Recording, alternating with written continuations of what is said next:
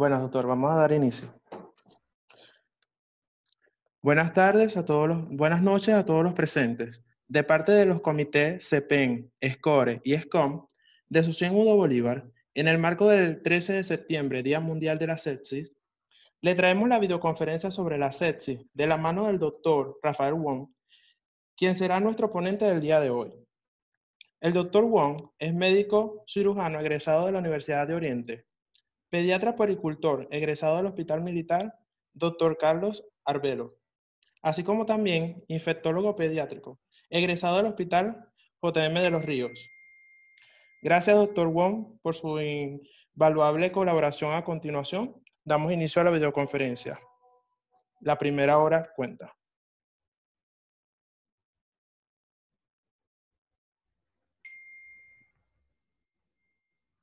Buenas noches. Eh, gracias a José Bolívar por esta invitación a, compartir un ratico y salirnos de esta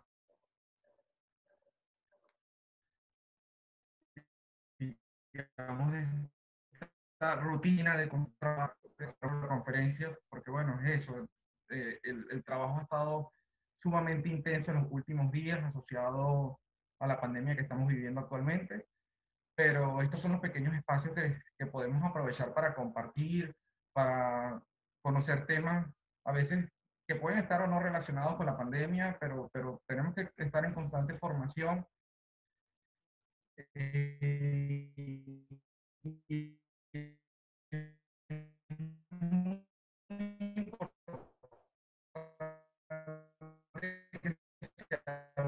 estos pequeños espacios para, para seguir con la educación médica contigo. olvidarnos que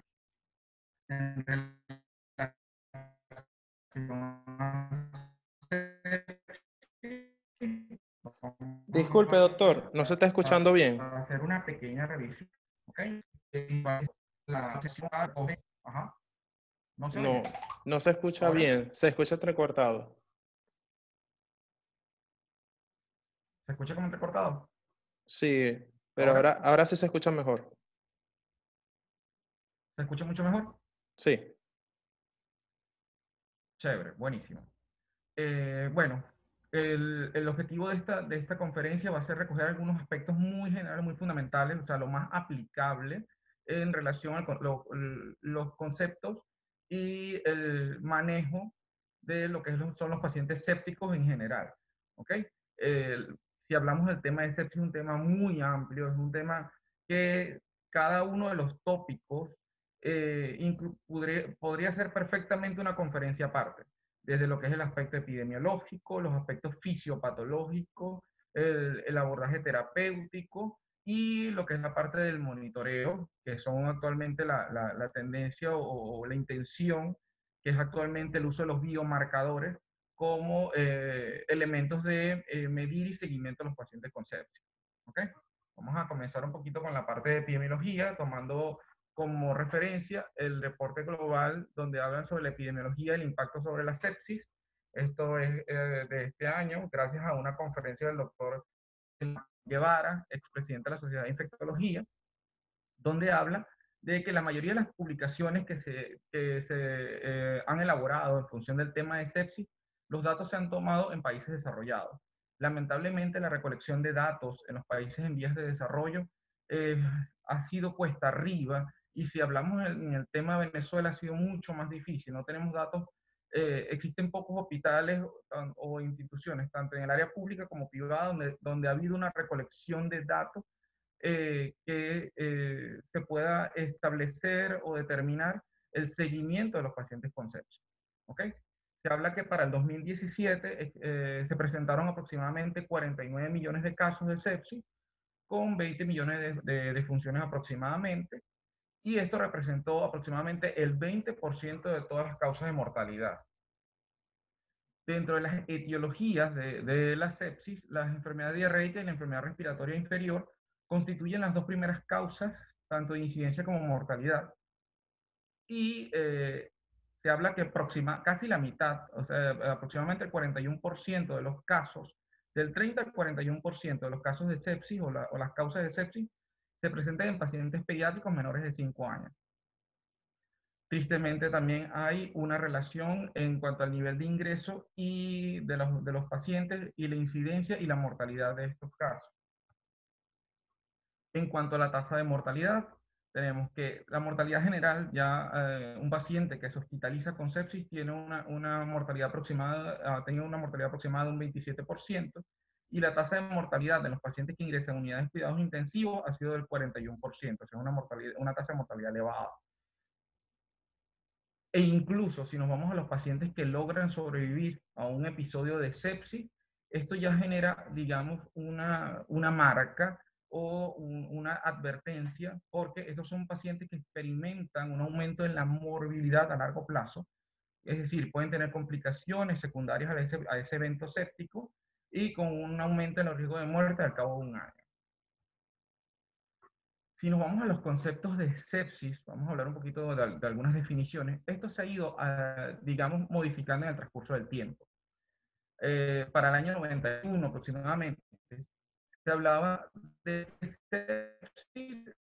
No hay un concepto muy, muy viejo del año 91 aproximadamente que hablaba del síndrome de respuesta inflamatorio sistémico, es decir, es un concepto que se utilizaba mucho, incluso cuando en medicina uno hablaba de síndrome de respuesta inflamatorio sistémico asociado a un proceso infeccioso. Eso era el concepto de sepsis. Pero a medida que han pasado los años, se ha comprobado que no todo paciente con sepsis experimenta un síndrome de respuesta inflamatorio sistémico y no todo síndrome de respuesta inflamatorio sistémico es sepsis. ¿ok? Eh, el síndrome de respuesta inflamatorio sistémico es una respuesta inflamatoria exagerada a múltiples estímulos externos eh, em, desde el punto de vista agresores. Puede ser un paciente politraumatizado, un paciente quemado, un paciente con una pancreatitis, eh, eh, y también, por supuesto, pueden estar los procesos infecciosos. Si nos vamos al concepto de sepsis, la última actualización, que fue a partir del, del concepto de sepsis 3 del 2016, se habla de que la sepsis no es más que una respuesta inmunológica anormal o una respuesta inmunológica disregulada de un huésped a un agente infeccioso determinado. ¿Ok? Esto a su vez desencadena una disfunción de múltiples órganos. Ese es el concepto aceptado desde, a partir de los conceptos de sepsis 3. Es decir, es una respuesta no necesariamente inflamatoria, sino es una respuesta irregular, es una respuesta anormal. ¿Qué, va a estar eh, contenido dentro de esta respuesta? va a haber una serie de síndromes eh, o manifestaciones desde el punto de vista bioquímico, desde el punto de vista inmunológico, desde el punto de vista metabólico, desde el punto de vista celular. ¿okay? Y esto se puede reflejar en múltiples scores, como es el caso del score SOFA, que vamos a hablar un poquito más adelante, con una puntuación mayor de 2, secundario a un proceso infeccioso. ¿okay? Tomando como nivel basal que el paciente eh, no tenga ninguna disfunción de base. otros conceptos, o sea, más allá de lo que es el concepto de la sepsis, está el concepto del shock séptico. Es un subgrupo una subclasificación de estos pacientes con sepsis que experimentan hipotensión persistente, a pesar de que se administran eh, valores, eh, digamos, si hay una reposición de, de o se administra fluidoterapia adecuada para los pacientes, somos pacientes que experimentan hipotensión de manera persistente y ameritan eh, o requieren la administración de vasopresores para mantener la tensión arterial media por encima de 65 milímetros de mercurio. Eso es ya el concepto de shock séptico. Y más adelante vamos a hablar un poquito de un, de un estadio, digamos, de mayor gravedad, como es el caso de shock eh, séptico vasopléjico o refractario. Son esos pacientes que aún administrando eh, vasopresores no responden para aumentar lo, que son las cifras tensionales. Y bueno, continúan lo que es las manifestaciones que habíamos hablado anteriormente. Hay anormalidades profundas circulatorias, circulatorias o hemodinámicas, celulares o metabólicas. Aquí tenemos lo que salió un poquito pequeño en la última modificación que hice, el score SOFA. El score SOFA nos, es una herramienta que nos permite, tomando valores o referencias eh, de, diferentes aparatos y sistemas, hacer una clasificación de cuánto es el nivel de disfunción o el nivel de afectación que tiene el paciente. ¿Cuál es la desventaja de este score? Que este score, eh, primero, es muy engorroso, es bastante rígido E incluso tú tienes que tener a la mano un, un laboratorio o, o, o, la, debes tener la, la, la facilidad de tener un, un, servicio de laboratorio a la mano para tomar funcionalismo hepático, funcionalismo renal, que no todas las personas lo, lo tienen a la mano, dependiendo del, del, nivel de atención y la ubicación geográfica que tenga. Incluso ahorita en Venezuela, estamos hablando, eh, ahorita en Ciudad Guayana, a veces un examen de laboratorio, dependiendo de la hora dependiendo de la, de la fecha de, a nivel de la semana. Es por eso que se tomó o se desarrolló una modificación o una simplificación, lo que se llama el Quick Sofa. El Quick Sofa es un score o una, una escala que nos permite evaluar el paciente para, eh, y diagnosticar de forma rápida eh, un paciente séptico, tomando en cuenta tres parámetros principales. Lo que es los parámetros respiratorios, con una taquimia mayor de 22, estado mental mediante la de mm, y los parámetros hemodinámicos midiendo la tensión arterial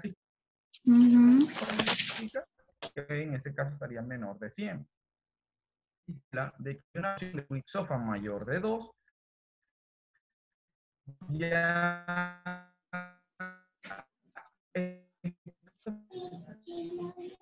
parámetros, tanto el como indicadores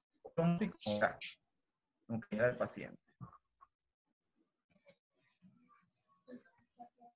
Este, el famoso mueble que lo, lo, podemos encontrar en múltiples presentaciones, representación gráfica o bastante, digamos, amigable, el Quick Sofa, que nos permite recordar, es un mueble con tres eslabones. Uh -huh. Eh, pues, eh, eh, respiratoria,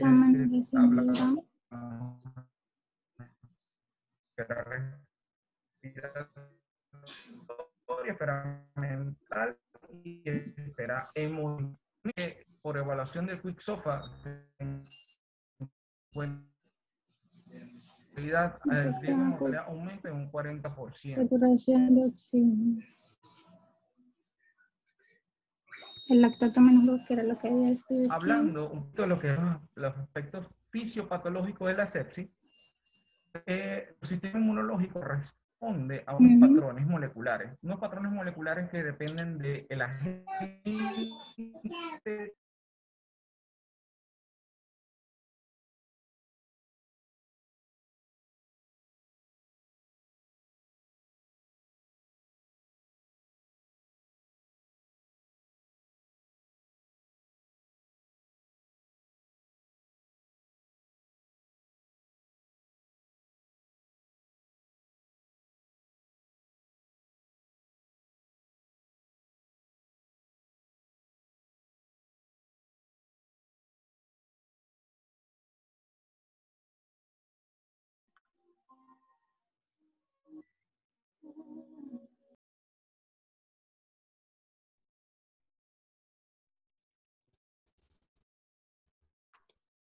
Doctor, ¿tuvo una falla?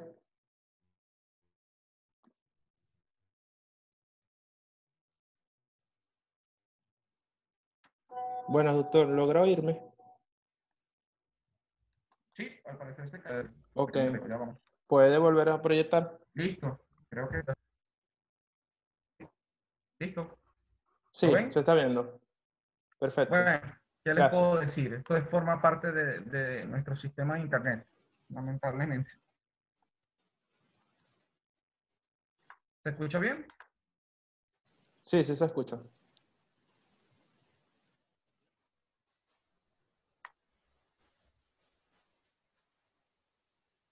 Buenísimo.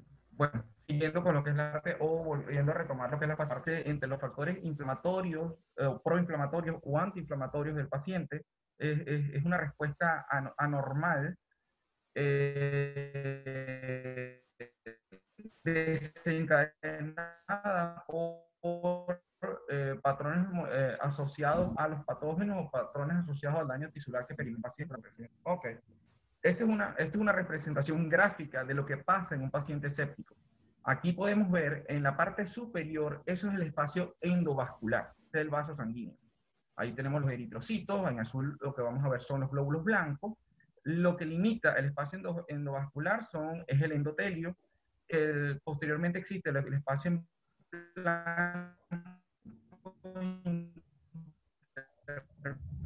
intermedio es la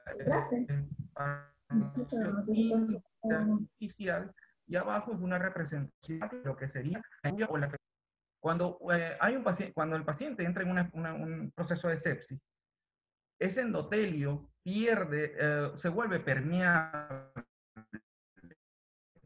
Entonces todos esos ericocitos pasan de la y cuando pasan al espacio intersticial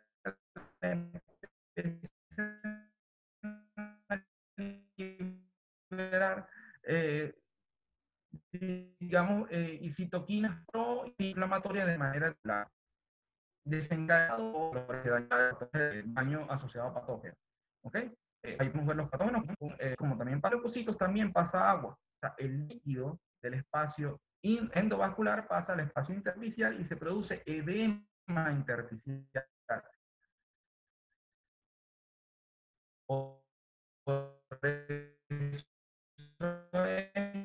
que existe hipótesis o una, una, una, salida de líquido al espacio intersticial. Y a nivel celular eh, se presenta un estrés oxidativo que da en el mismo nivel mitocondrial, hay una disfunción con falla energética y muerte celular en algunos casos. ¿Qué pasa? Muerte celular o daños celular, los órganos donde se van contra esa célula fallan. ¿Cuáles son los órganos? Los órganos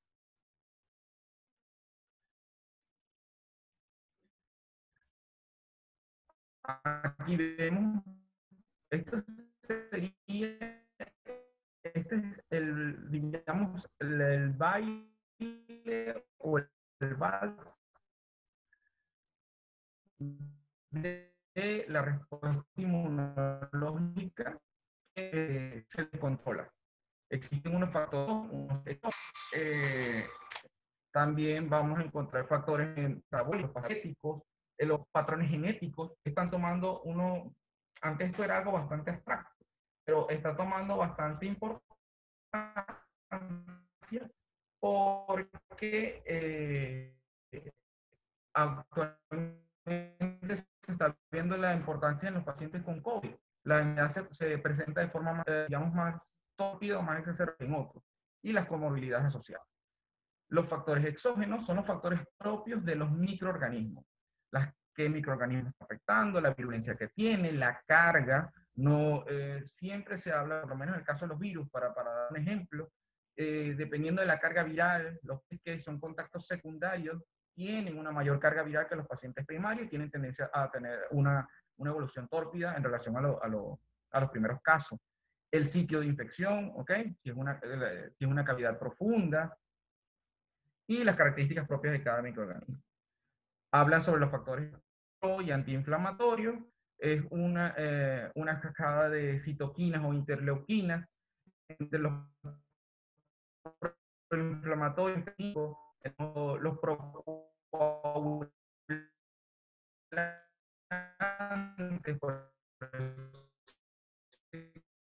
estos pacientes eh, presentan una coagulación diseminada y la apoptosis a nivel celular ¿Qué pasa? Se va hacia un lado o hacia el otro, igual va a haber daño en el paciente, porque estimula o se exacerba los factores proinflamatorios, hay daño a nivel celular. Y si se exacerban los factores antiinflamatorios netamente, son, eh, son como en el caso de los pacientes que tengan algún tipo de inmunosupresión, eh, también se, se ve el, el, esa respuesta anormal en los pacientes y son pacientes que experimentan un cuadro, digamos, de mayor severidad. El refractario, lo que había hablado anteriormente, de, eh, es una subclasificación, un cuadro, de, digamos, de mayor complejidad, donde hay una, una falla cardiovascular severa con ausencia de respuesta a drogas. ¿Okay?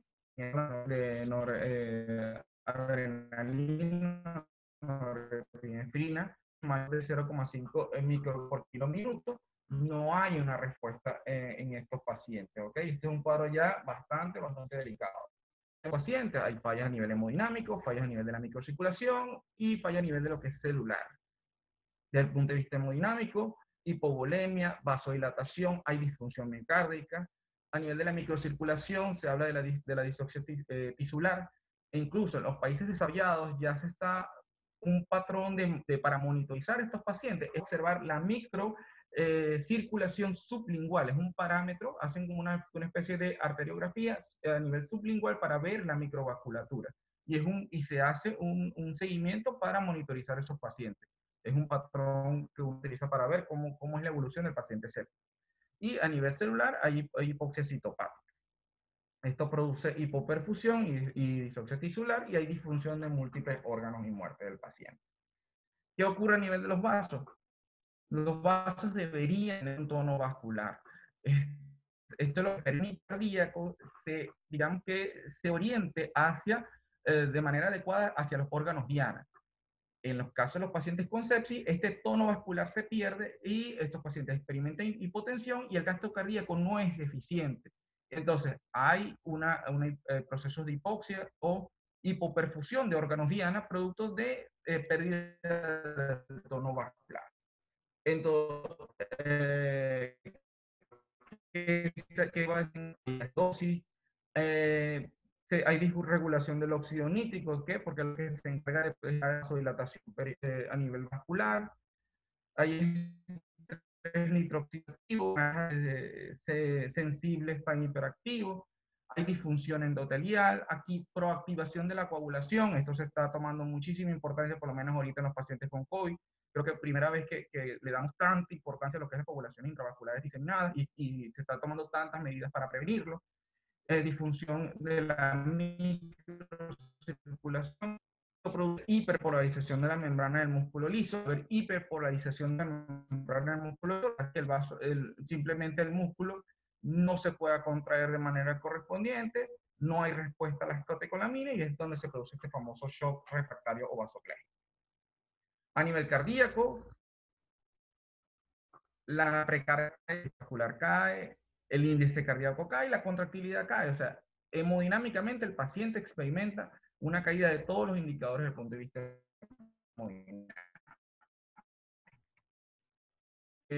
disfunción a nivel hemodinámico y, y disfunción a nivel de la microcirculación. Hablando un poquito sobre qué vamos a hacer con estos pacientes. El famoso bundle de la primera hora. ¿Qué es un bundle? Un bundle debería ser medidas que se tienen que cumplir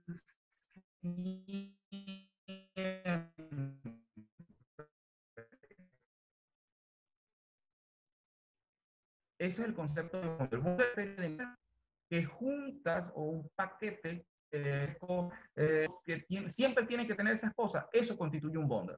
Entonces, un modelo de la primera hora deberían ser unas medidas que siempre se deben cumplir en todo paciente cero. Lamentablemente, bueno, vivimos en países en vía de desarrollo que a veces no se pueden cumplir todas.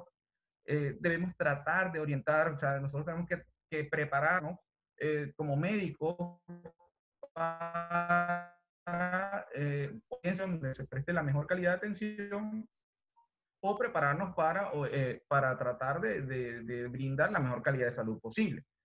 ¿Cuáles son los componentes de los bondes de primera hora? Primero, medir los niveles de lactato.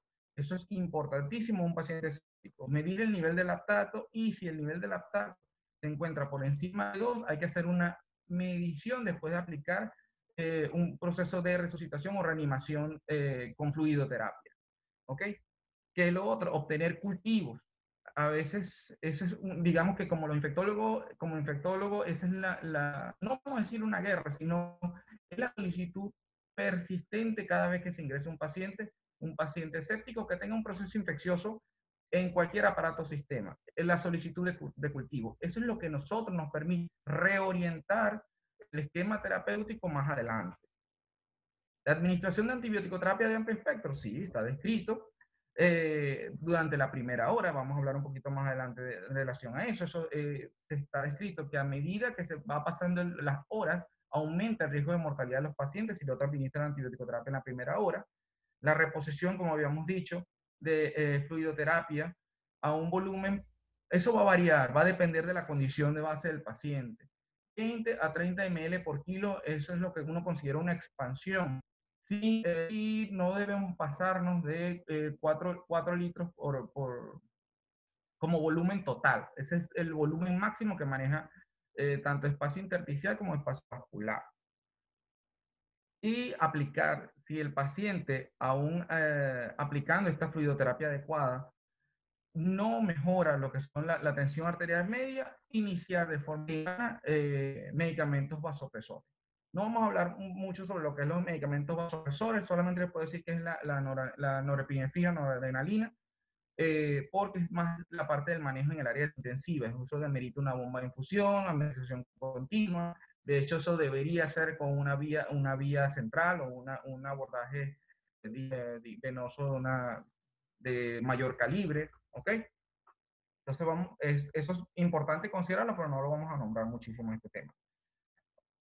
Eh, lo que está haciendo actualmente, la norepinefrina en estos pacientes, el inicio temprano está asociado con, con menor mortalidad. ¿okay? Cuando uno administra los, los drogas vasoactivas o vasopresores en pacientes sépticos, hay una mayor sobrevida. Y si, y si dejamos que pasen las horas, existe un mayor riesgo de mortalidad en estos pacientes. En cuanto a la fluidoterapia, esto es un acrónimo dentro de los tantos acrónimos que existen de de los líquidos en los pacientes con sepsis está constituido de varias etapas. La primera etapa se debe cumplir, que es la etapa de reanimación, es una etapa que se debe cumplir en minutos. Es el, famoso, el paciente que nos llega a una emergencia, que nos llega con eh, hipotensión, con signos de deshidratación, que el quicksoft da, positivo. Es un paciente que se debería reponer eh, o administrar la fluidoterapia en minutos. ¿Ok? como les había dicho previamente, administrando líquidos, eh, preferiblemente cristaloides a 30 ml por kilo, 20 a 30 ml por kilo, eso, va, eso es cuestionable, eso va a depender si el paciente no tiene alguna condición de base, si no sufre alguna cardiopatía, si el paciente no es hipertenso, si el paciente no sufre una enfermedad renal que, que pueda, digamos, limitar la administración de líquidos de ese paciente. Asociado a las condiciones o las medidas distintas a reanimación de fluidos, como el caso de elevación de las extremidades para aumentar la tensión, la tensión arterial.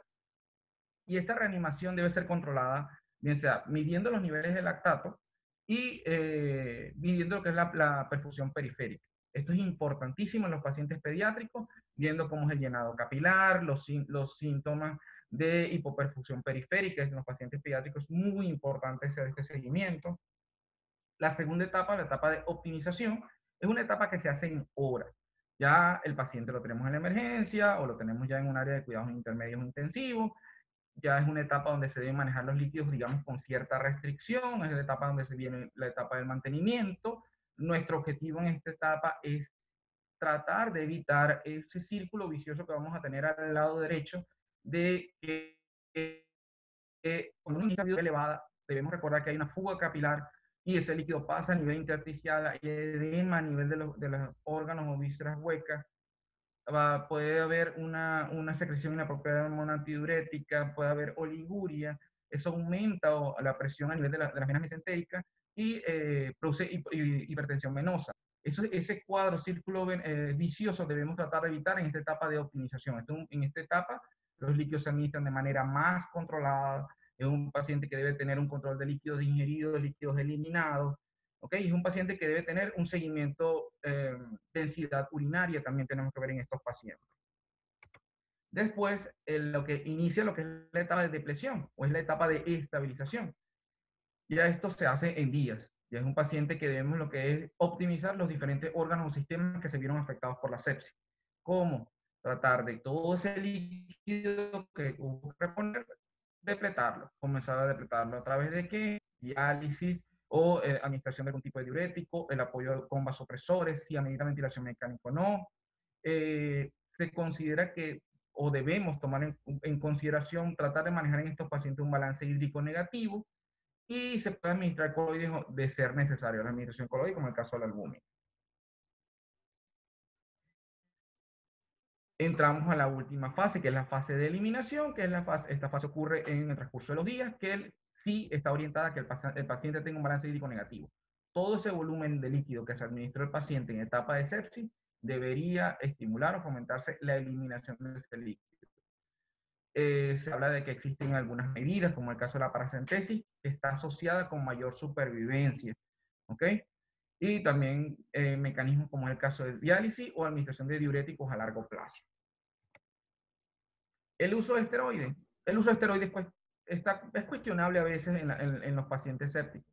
Se habla primero de administración de fisioterapia, se habla del uso de vasopresores y si estas dos medidas no, no funcionan, se puede recurrir a utilizar los esteroides eh, de forma sistémica para ayudar a mejorar eh, eh, ese funcionamiento a nivel del endotelio y disminuir esa cascada inflamatoria que está experimentando el paciente en ese momento. Con mucho, digamos, con mucha cautela. quiero hacer una, un, digamos, un llamado en este, en, esta, en este momento. Existen muchísimas personas, debemos hacer conciencia tanto con la población como nuestros colegas el uso de esteroides de manera indiscriminada actualmente. O sea, eh, en el caso de, con COVID, sí, está descrito que en pacientes con COVID el esteroide eh, experimenta un beneficio en cuanto a la sobrevida del paciente, pero cuando el paciente está en etapa inflamatoria, no se debe administrar de forma temprana, no se debe administrar en pacientes que tengan sintomatología leve a moderada. ¿Por qué?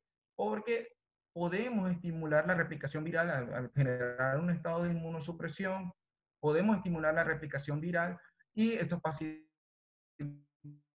tienen tendencia a empeorar o de manera torpe. Entonces, vamos a hacer conciencia, vamos a hablar eh, con, con todos nuestros contactos, con todas las personas que podemos establecer algún tipo de relación o algún tipo de influencia porque eh, uno ve ahorita en las farmacias que las personas esteroides como si fueran aspirina. Y eso, eso es bastante delicado. La aplicación de antibióticos en la primera hora es crucial en la supervivencia de los pacientes y a medida que pasa el tiempo se ve una, una, un riesgo de mortalidad. Es verdad. Pero hay unas ciertas consideraciones que debemos tomar en cuenta al oportuno, óptimo. Apropiado es, debemos tratar de eh, eh, seleccionar el antibiótico que, que sea orientado al agente etiológico que creemos. Okay. Adecuado para administrar al paciente y para llegar al espacio donde se encuentra el proceso infeccioso activo. Eh, quiero recordar que además de administrar tratamiento eh, antibiótico, es importante el control del foco. ¿Ok? No hacemos nada administrando antibióticos solamente si no existe el drenaje o el control adecuado del de el, proceso infeccioso como tal, llámese el, el acceso, colección, el, el drenaje de la cavidad que pueda estar afectada o invadida por determinados microorganismos este es un pequeño, eh, digamos, una pequeña nemotecnia que para considerar, eh, investigar un poquito más el paciente o detenerlo antes de iniciar el antibiótico la primera hora. Cuando actúa de manera rápida, por, por, supuesto, si hay un paciente que tiene un síndrome de respuesta inflamatorio sistémico, si tiene una disfunción de múltiples órganos, si hay datos que pues, sean compatibles con shock y, hay, y los datos nos identifican que hay un proceso infeccioso, por supuesto que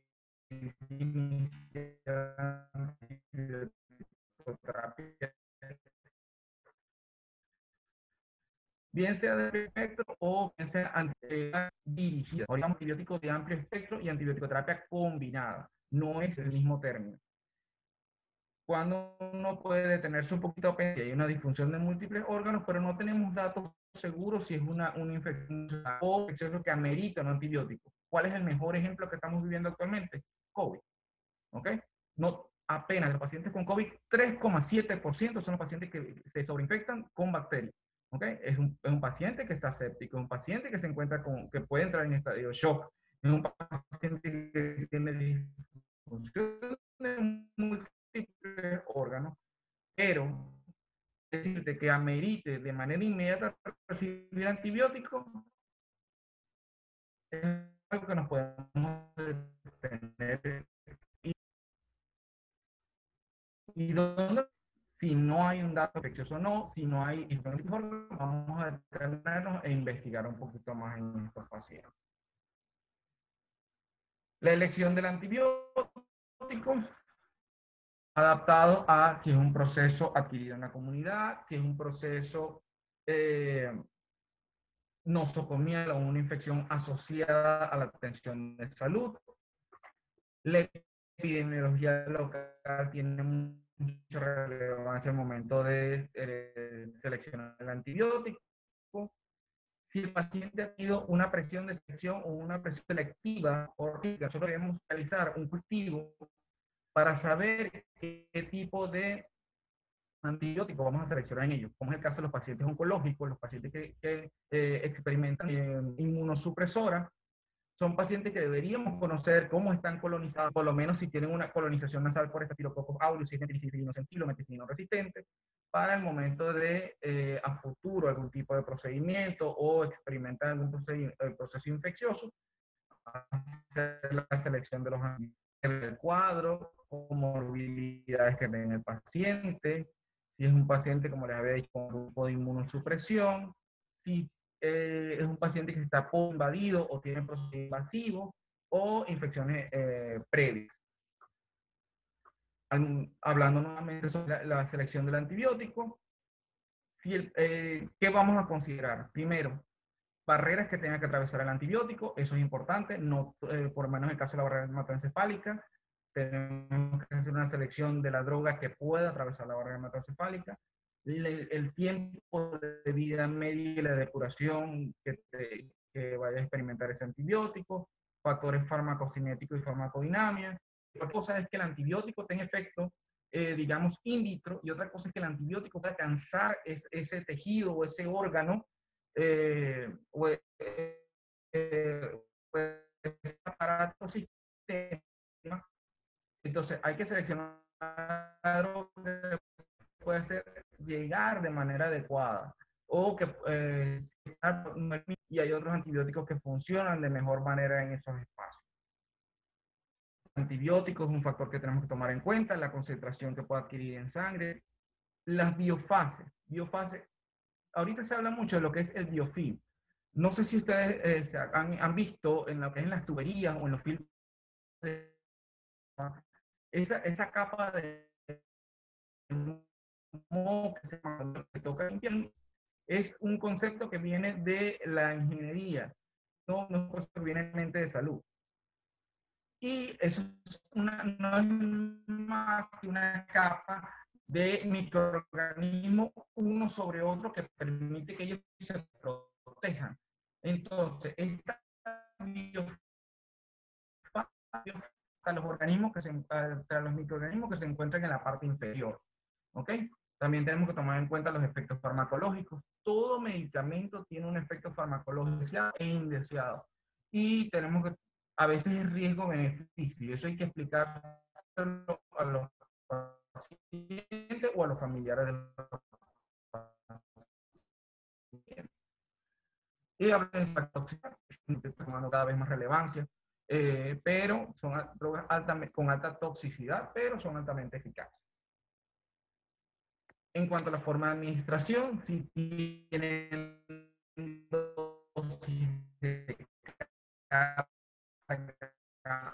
Disculpe, doctor, no se le está escuchando bien. No, ya cada vez se está, eh, dentro de los estudios farmacocinéticos y farmacodinámicos, eh, hablando. ¿Ahora? Ahora sí, más que todo se pega cuando habla muy rápido.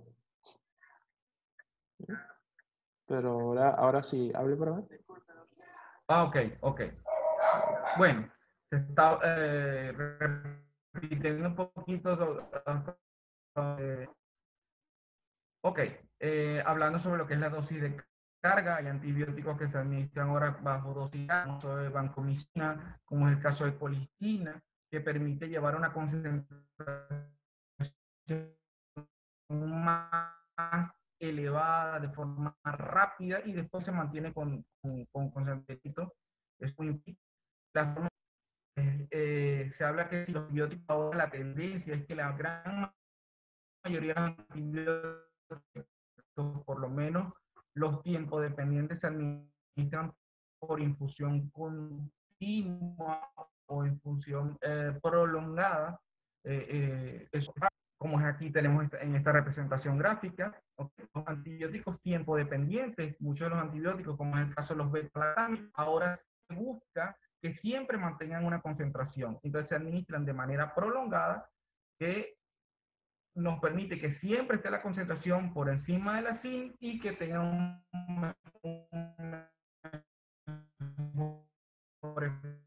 efecto a nivel de los pacientes.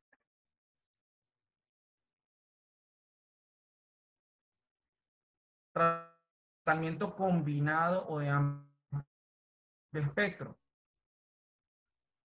Esta es la, o actividad sinérgica es distinto. Antibióticos que vamos a abarcar un gran volumen, un gran número de microorganismos en pacientes graves.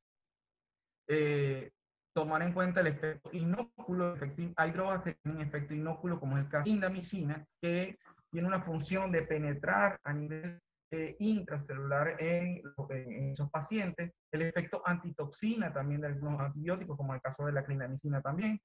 Eh, lo que estábamos hablando del biofilm, el caso de la rifampicina efecto inmunomodulador, eso que está muy de moda ahorita con la citromicina en los pacientes con COVID.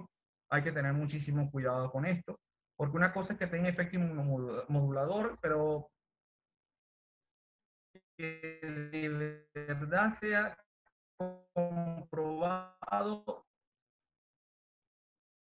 está en, funcionamiento ahorita eh, a nivel de los mortalidad, diarrea asociada a antibióticos. Se está viendo muchísimos casos de los pacientes con COVID de diarrea asociada a antibióticos.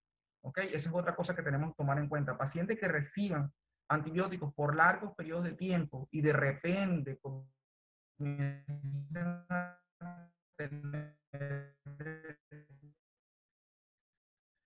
eh, diaforesis, hipotensión, palidez, nosotros como, ejercicio médico. Y eso es algo que tenemos que abordar. Ya, por ejemplo, en el caso de Guayana, eh, ya se está solicitando toxina para Clostridium difficile para uno poder hacer ese diagnóstico y administrar antibióticos adecuados, como es el caso de metronidazol oral o vancomicina oral. Eh, otra cosa que debemos tomar en cuenta son los costos y el aumento de resistencia a mí me preocupa actualmente el uso indiscriminado de las quinolonas, como el caso de levofloxacina, el proceso eh, de resistencia bacteriana eh, y que estos son transmisibles a, a, a otros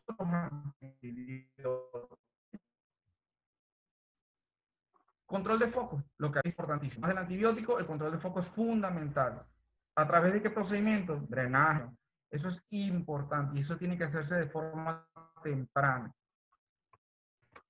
Aquí tenemos un algoritmo de, de, en cuanto las horas, cuánto debemos esperar para eh, algún procedimiento quirúrgico que nos pueda manejar el paciente Si el paciente un paciente que puede esperar horas, si es un paciente que tiene una perforación de visceral hueco, una peritonitis, puede esperar alguna. Un paciente que puede eh, esperar, digamos, un poquito más de tiempo, un absceso que esté bien coleccionado, que esté bien localizado, se puede eh, contemporizar, a, aplicar las medidas, las primeras medidas de reanimación, pero debe estar el foco. ¿Ok? Y si es un proceso muy localizado, ya bien sea en piel o una apendicitis que no perforada, pues también digamos unas dos o unas 24 horas y recibir antibiótico terapia. Y cuando el, el, el foco infeccioso de lo que se está pensando, ¿ok? Si es a nivel gastrointestinal, si es a nivel eh, respiratorio, si es a nivel genitourinario, ¿ok? Y después, de ahí viene el impacto para, de, para hacer posteriormente? Desescalar al paciente o redirigir al antibiótico. ¿Por qué? Porque no, la idea no es eh, que siempre todos los pacientes se manejen con antibiótico terapia en espectro, porque esto es un, estos son inductores de resistencia. Y eso produce algo que se llama presión de selección los microorganismos, llámese bacterias, llámese hongos, no son tontos. Ellos, ellos tienen una capacidad sumamente rápida. Y se va a eh, eso lo que va a hacer es que, por ejemplo, el paciente después va a hacer un proceso infeccioso con resistencia a los antibióticos.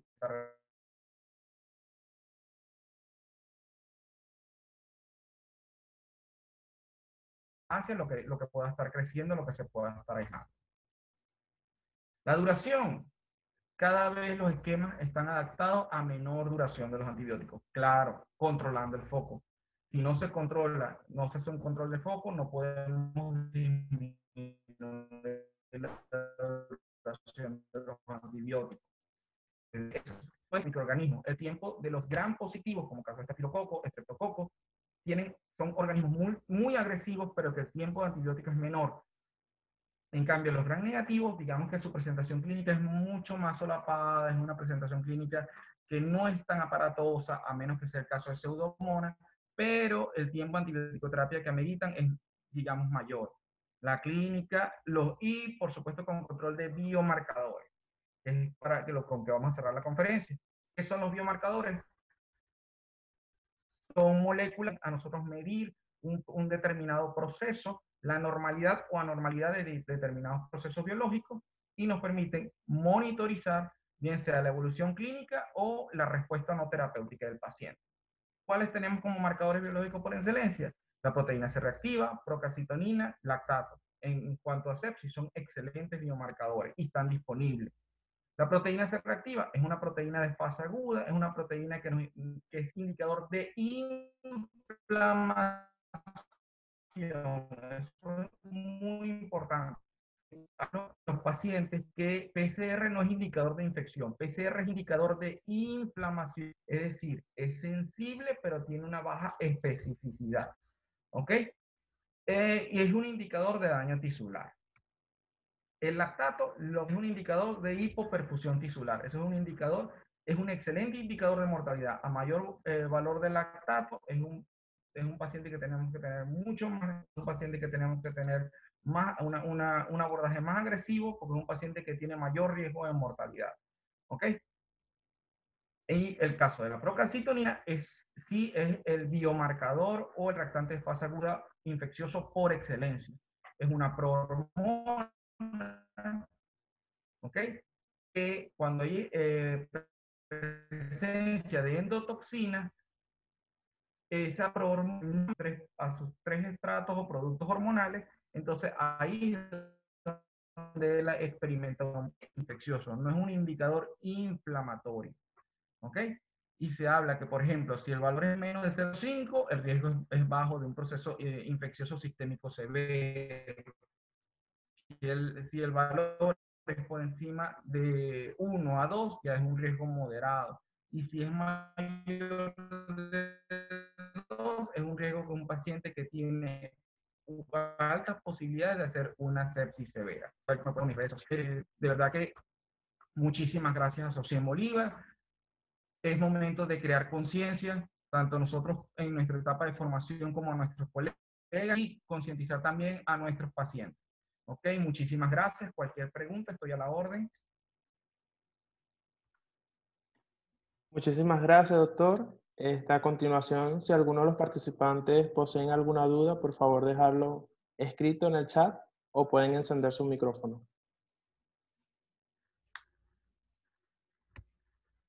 Si puede ser por el micrófono, muchísimo mejor.